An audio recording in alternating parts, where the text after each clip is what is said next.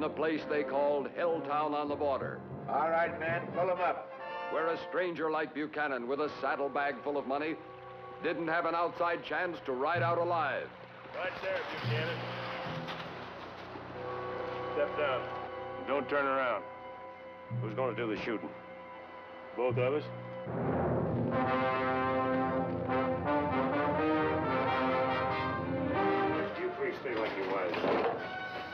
I never expect to see you again today, Buchanan.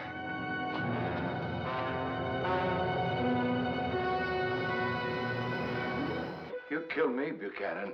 Ain't nobody gonna open that safe. You know something, Sheriff, it just might be worth it. I thought I told you to go home. I couldn't help it, Buchanan. That's right, Buchanan, he couldn't help it. Now you can do one of two things. You make a break for it and we shoot you both in the back, or you can toss over them guns.